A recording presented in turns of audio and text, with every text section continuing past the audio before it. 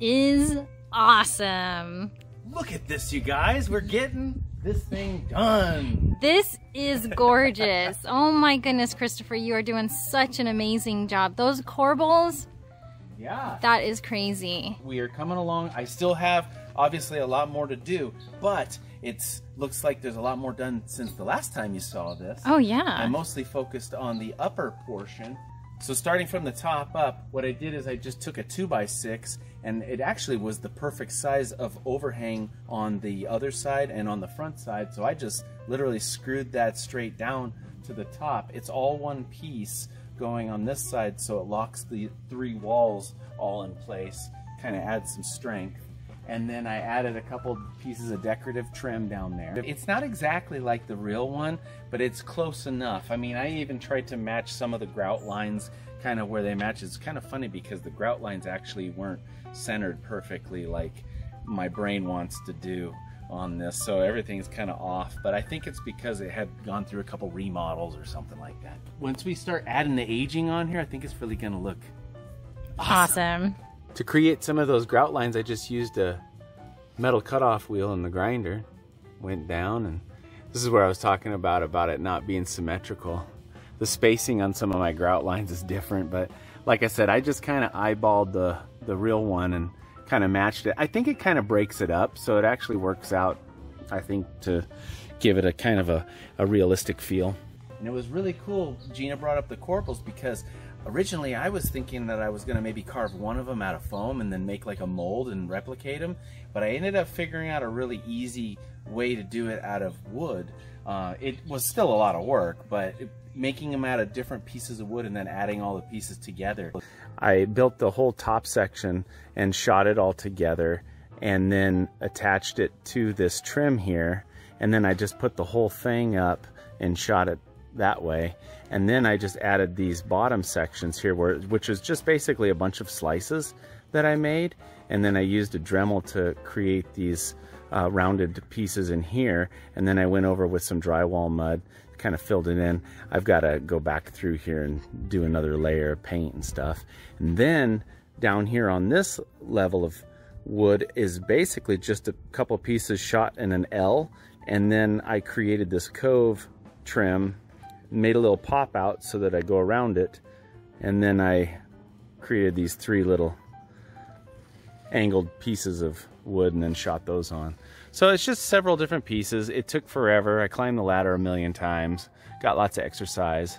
All the trim and molding uh, we either purchased or I went ahead and just made it. For the section that's right above the corbels, I basically built another pop out just like this one, but a little bit bigger. And then I added the crown molding to the outside of it and I cut little triangle pieces to give it some support around there. And then on the very top, I also went ahead and skinned the top of it with the quarter inch plywood, just so the rain wouldn't fill in there and stuff. You can see how I skinned the top of this with Luan so that it wasn't all open on the top. Down here, I've got a couple layers of plywood to give it the pop out, and then I added this little strip and uh, the, the little round over trim that goes around everything. That piece over there in the middle is a piece of MDF that I just kind of carved out with my disc sander and then I added some pieces of plywood to give it that pop out trim. It's gonna look a lot better once I cover this with a couple more layers of paint. And then these guys right here, I thought at first that they were like rain gutters where the rain maybe flows down, but they're they're also decorative pieces that I stuck in here. I still have to create some pop outs that go all the way down in this level right here, but um, they're they're basically just brick that have been offset from the rest of the brick. I also did the two center pieces in between the windows on this side as well. They're not as fancy and decorative as the front, but I did not have to cut out the plywood. I just literally put two layers of uh, quarter inch plywood right on top of the existing plywood that I had for the walls. But this one up here, I actually tore this piece of plywood off so that it would give me plenty of space to create all my layers of decorative um, wood there. Otherwise, if I wouldn't have done that, it would have stuck out past these offsetting bricks and I just didn't think that was gonna look as nice. I went through and I added a couple of these cross braces in here just by adding some glue and then shooting from an angle. I've got to still go uh, back in here and add some black window trim and cut the plexiglass. The plan is to slide the plexiglass in and then just box it in. I can always access this from the backside through the walls inside the playhouse if I ever need to. But uh, we want to still put some LED modules in there. We may paint this a color so that the light reflects like some kind of color from it. Again, I've got to uh, add some brick here. The plan is I'll just have little half inch bricks. I'm not sure if I'm just going to run it through the table saw to add the grout lines kind of like I did down here. Um, but I have a lot of scrap pieces that I want to try to use up so it doesn't cost us a lot of extra money. So I still have to carve the medallion that goes right here, hard coat this and then paint it all black. Uh, add a little bit more details to the door. I got to go through and fill in all my staples and some of these grout lines that are a little deep and things like this. Get it all good to go and then we'll go back in here with some different shades of of grays and age it and kind of add a little bit more detail, give it a little bit of dimension. You can see down here, we got all this brick finished. I also finished the bottom over here on this side to continue around. Like I said in the front windows, I've got to go back through here and add some little trim and add some window and some cross bracings in here. Down below, there will be another red door. This one's a man door and I'm gonna, if I can, I'm gonna try to paint the little hook and ladder eight on the, the little fire door in there. Other than that, windows and the bricks, that's really all I have left to do. There are a few little pop outs that I gotta add in there, and then we gotta do the Ghostbuster sign. And check out what I found at a yard sale. I cannot even believe that this was at one. Oh my gosh, you guys. The lady said she used it for a fireman uh, birthday party for her seven year old son. And she had all kinds of, you know, hats and stuff like that. But this, she said she got off of Amazon. And it's just a plastic, basically blow mold fire hydrant. But it fits in so perfectly. And I got it for $2 if anyone was interested. yeah, I wonder if we should paint it like the Playmobil one. It's got a, a couple little silver caps to hmm. give it a little bit more color. But it's it's perfect. You couldn't... I thought that was like maybe like a dog treat holder or something the way that that would be fun too yeah. oh my goodness can you imagine if that was in your pantry how cute would that be not much has changed on the inside except for there's a little bit more kittens for vigo stuck all around Still got some Halloween decorations and stuff to put away out here. So I remember to go upstairs. Look out! There's a giant spider on your slide. I know. Ah! See a friendly spider?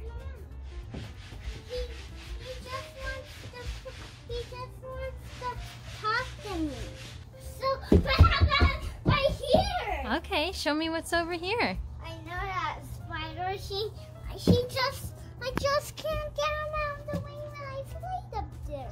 Huh. You look very comfortable up there. Do you? Maybe we could get up here. Whoa. That, I know. I just have to do that. Okay, show me all the way at the top. Can you wave to me once you get up there?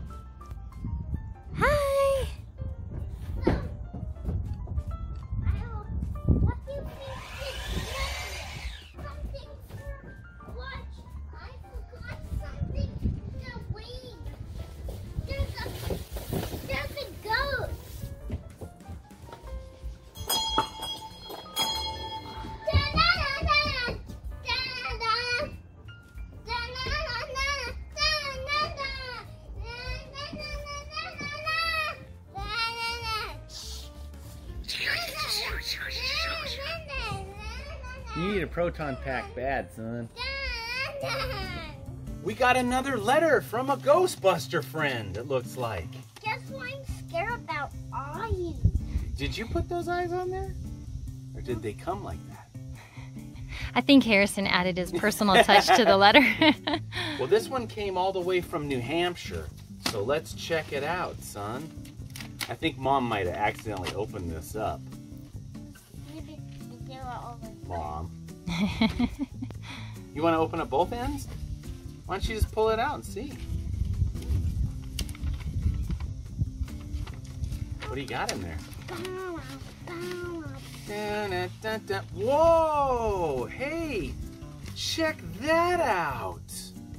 Isn't that neat? Wow, Harrison, check that out. That is really, really cool. The Granite State Ghostbusters. There you go. That's awesome. Okay, looks like you got Another honorary Ghostbuster. This is so awesome, Harrison. Look at that. You got another certificate. And this one's from the Granite State. Welcome aboard, Dr. Raymond Stantz. Whoa. This certificate acknowledges that the recipient is an honorary member of the Granite State Ghostbusters. That is so cool, Harrison. I know, it's very nice. Wow. Okay, you ready to hear this? You can look at this while you're reading this off. We at the Granite State Ghostbusters have really enjoyed watching your videos on building the Ghostbuster Playhouse for Harrison. We are very inspired by what you've built, that it has given us ideas for our own future builds. awesome. We really enjoy seeing everyone's enthusiasm for the build for the Ghostbusters. Included with the letters an honorary Granite State Ghostbuster certificate for Harrison, business cards, and a Northeast Ghostbuster Alliance Task Force Ecto. I got some water in my bottle.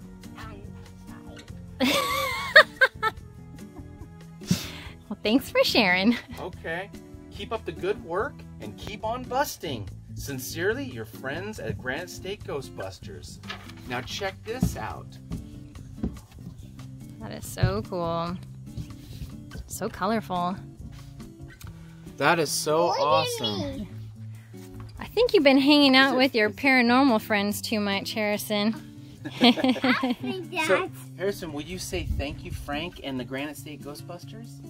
Thank you, Frank, for uh, and the Granite State Ghostbusters. Yay!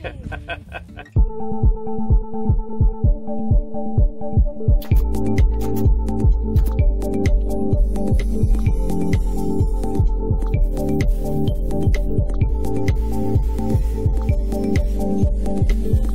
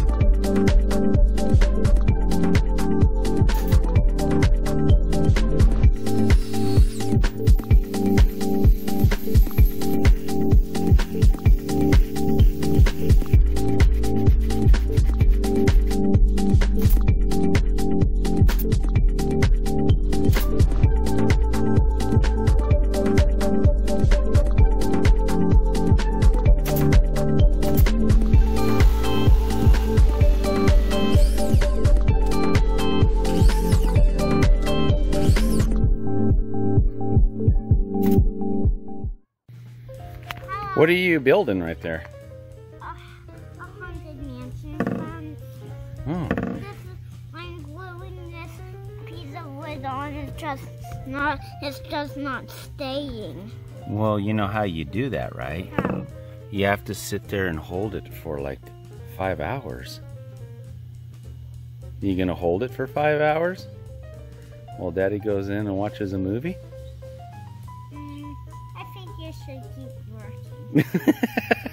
well, it's looking pretty awesome. Keep up the good work. Oh, See you in five hours. I just want you to finish my stuff. Okay, I'll nail it right now. Here. Now push the trigger. There you go. Push it. What you making now? Cool. Are you going to show everybody your carpentry skills? How you can hammer in the nail? Here, show us. So first you need a hammer Okay. and you get a nail. You hold it like that so you don't hammer break that. Whoop. Oh.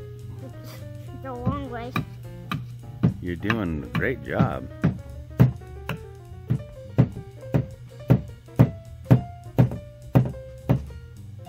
All right. Now the playhouse looking is pretty go good. Twice as fast. Yep. He's made. Well, this is actually a haunted mansion fence.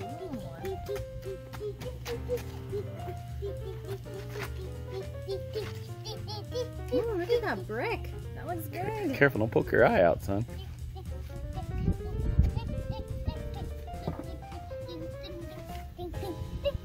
All right. It looks great, buddy.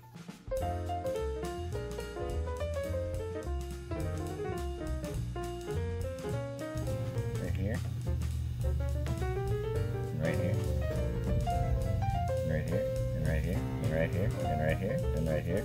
And.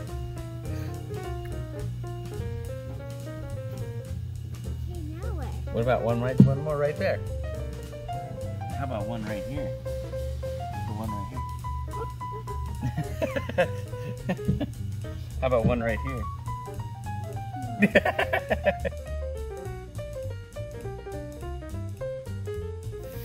hand on there, good, and then that's your trigger finger. But it only works when you put, see how it doesn't go? You have to put it against the wood, okay? Good job. Oh, one more there. All right. How about one right there? How about one right here? Whoa. What about one more right here? Oh, what about one more right here? And let's just put one right here for fun.